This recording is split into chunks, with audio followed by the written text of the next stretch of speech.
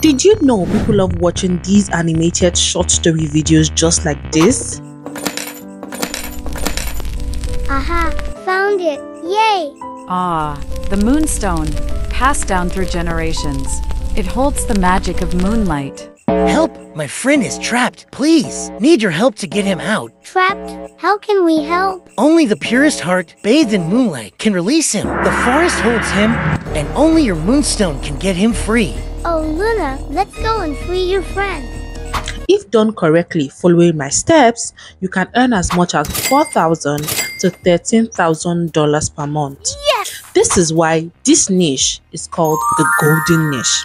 And the best part is all the work will be done for you by artificial intelligence, AI. Your question is, how will you make this money from creating these videos? Well, remember to subscribe and I will reveal just how at the end of this video. Here are the four free applications we would need to produce these Pixar or Disney-like stories and it's absolutely for free. Oh, you might be wondering, why is my avatar presenting today and not me? Well, I don't have the energy to set up for a shoot and my avatar offered, so why not? Before we continue, you can click on this video right here to see how to create your own avatar. It might be useful to you. Step 1 Script Production. First step, you're going to go to Google's Bard. Google's Bard is just like ChatGPT and you're going to write a simple prompt for it to create a story for you create a Pixar like story so look at my prompt i said create a short narrative Pixar story with human characters one minute long very engaging so that's the first thing you do and then this is the story she has created a story the story is going to have three characters as you can see finn luna and the grandmother it tells us the opening scene and tells us what Finn says. So it gives us a full script. Now, this is the first part. You get your script. Also, you can tell Google Bard to create 10 visual prompts for the story it has just created. This would be very helpful in creating text to image or creating the images out of the text. And that takes us to step two, text to image creation. The second part, you're going to go to leonardo.ai open leonardo.ai and you've logged in. This page comes out okay? Then you go straight to image generation. Go back to google bard and the prompts they are created for you you pick the prompts one by one and take it to Leonardo.ai and paste it here where they wrote AI image generation. When you paste it, make sure you write 4K at the end and Pixar quality so you can create those kind of images that you need for this Pixar style video. When you're done with that, you press generate and look at what it generated for me. You can see all those cottages that used to begin the video and then whenever it generates for you, look for the best ones and you save. I did the same thing to create this boy's character it created all these four different characters for me and I saved them. You go back to Google um, Bard, copy your prompts and paste. But because I am used to storytelling, you can see I didn't use Google Bard prompts. I created my own prompts by myself because I knew exactly what I wanted to see in the video, in the storytelling. So I created my prompts myself. Okay, and I click generate. Now you're going to do this process for all the scenes, all the clips that you need to tell the story. Okay, very important. This is the grandmother's own.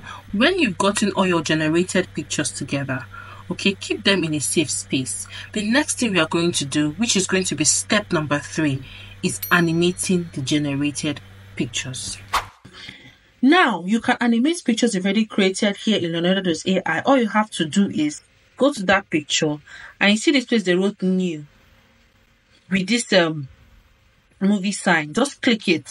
It's going to make that picture into a motion picture. You can see what it has done to this one has made it a motion picture. You can see the firefly is moving a bit. They might have a bit of error, so you have to look at it very carefully. That is the third part in this sequence. Animate all the pictures you generated with AI, and you're still going to animate them with AI. So I'm going to show you another uh, AI tool that you can use to animate these pictures and that AI tool is called Runway. When you open Runway, you're going to register, sign in with your email address and your password, and then you come in. Then this is what the interface looks like. So what you do is either you start with an image, if you want to animate an already made image in our case, or you can start with text where you want them to create the image for you and animate it for you. You can also try that. But I like to use um, Leonardo's AI because the images from Leonardo's AI are always richer to me. So you click start with image. Since we already have images we've already done right here, then you upload the image. So it's going to load on the dashboard. You're going to do this for all the clips you've downloaded because you need it for your storytelling. You need your pictures to have some form of motion. Okay. And then we're going to write generate. When you start, you start with 90 seconds. I have 47 seconds left because I have been doing a lot of exporting, a lot of animations. So it will animate that picture. And when the picture is done animating, you can save it. I'm going to show you how to save it. Just the same way you look for that download icon that is almost on every website and then you download it. So this is it. I've, I've used it to generate most of my most of the videos. Okay, look at this one I generated with this tag. Step 4 Talking animation. You know that, for instance, now the grandma said Ah. something in the The script. moonstone. Sorry, please. Beg your pardon. So the grandma said something in the script. You have to look at your script and know who said what. So this is the stage for us to do voiceovers. That is voiceovers of this script and also make because you're trying to make their mouth move what they're saying. So grandma said, ah, the moonstone passed down through generations. It holds the magic of the moonlight. So we are going to go to this third app, which is called DupDub. I've told you about DupDub before. It's a very important app. When you open DupDub app, this is what it looks like. So we're going to go to AI avatar. You click your AI avatar, you upload your picture. So the picture that we want to animate, the picture that we want to talk was the picture of grandma. To upload the picture.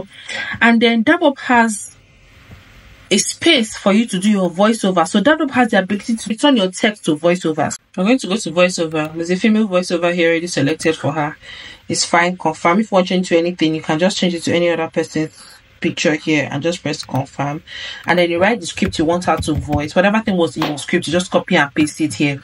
You press play. I don't want to do it because it's going to take. So we have play, and it's going to just say Hello. hello. So okay, then you do generate and upload. So you do generate, you now right click. I- I'm not going to do it now because I've already done everything I needed to do. So you snap quick generate. So it's going to turn grandma to talking avatar. She's going to talk how she talked in the beginning of the video. Now you're going to do this for every time the characters talk. Okay, but you're going to have challenges with characters that are not human beings. For example, the firefly, I had a challenge with making him talk, and then all the creatures in the forest, I had a problem with making them talk. But this is the way you make your avatars talk. Extremely important. Step 4 Merge all clips using the CapCut app. So, bring all the clips you generated, all the animated videos you generated, all the talking avatars you generated, bring everything into CapCut and then organize them and arrange them in the sequence of your script. And that is it, guys. The only thing you would need to do at this point is to just add extra voiceovers. You can just voice them with your, by yourself, or you can still use another AI. You can use Eleven Labs to do the voiceovers if you want to. And the last thing is just you do your sounds. Just put some sound here and some sound there to make the story come alive.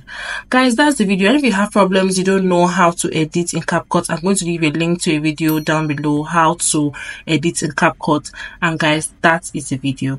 And right now, I'm going to play the finished video for you.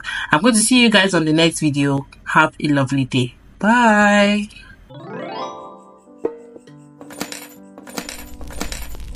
Aha, found it. Yay!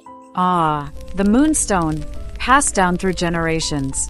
It holds the magic of moonlight.